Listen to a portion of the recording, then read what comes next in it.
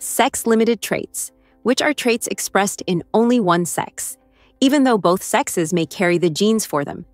Sex-limited traits happen mainly due to biological and hormonal differences between males and females. These traits are generally autosomal, which means they are not found on the X or Y chromosomes. A great example is lactation in cattle. Lactation is dominant, while non-lactation is recessive. Let's see this in a table. XY and XX represent the chromosomes of males and females, while the big letter L represents the gene for lactation, dominant, and the small letter L represents non-lactation, recessive. In females, both dominant L equals lactating. One dominant L and one recessive L equals still lactating.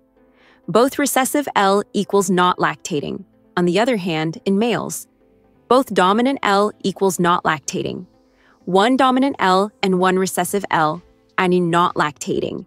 Both recessive L, adding not lactating. All males, regardless of their genotype, exhibit the phenotype of not lactating. This means that even if males carry the genes for lactation, they do not express this trait due to the lack of the necessary hormonal environment.